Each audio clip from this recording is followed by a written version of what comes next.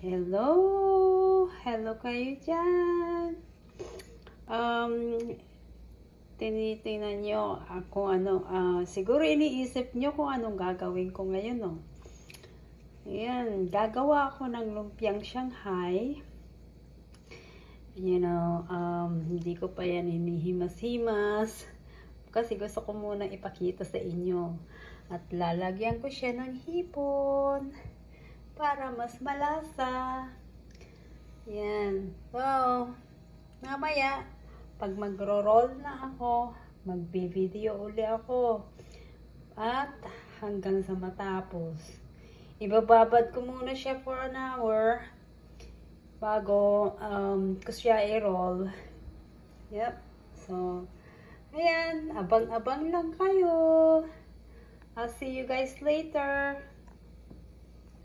Hello. Now I'm gonna show you how I wrap my lumpiang Shanghai. Yan. This is my lumpiang Shanghai. Yeah, I already um, marinated for an hour before I wrap it around.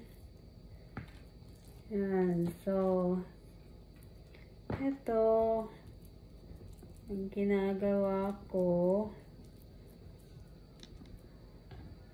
Hmm. Yan. Pahaba. Kasi yung, kung ano, kung yung maliliit ang gagamitin ko, ay naku, abutin ako nitong ano, ilang oras. Ayan, at ang sinisil ko siya nung yellow, yellow eggs. Yung yolk.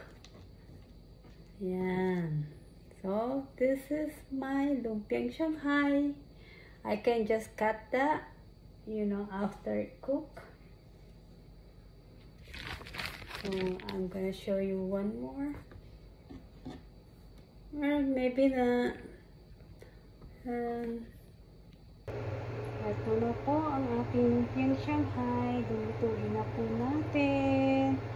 Okay, so please watch and join me at YouTube channel. Thank you.